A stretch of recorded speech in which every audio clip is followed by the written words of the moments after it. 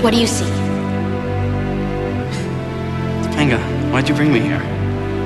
I want to know what you feel about this painting. Well, I, I don't get what that has to do with anything. See, what you need is somebody who's passionate about it to make you passionate about it too. Even though I've known Cory all my life, how can I go out with another guy until I know what Cory feels about this painting?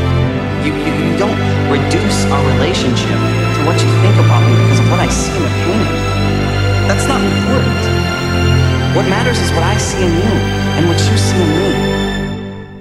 What I see in you?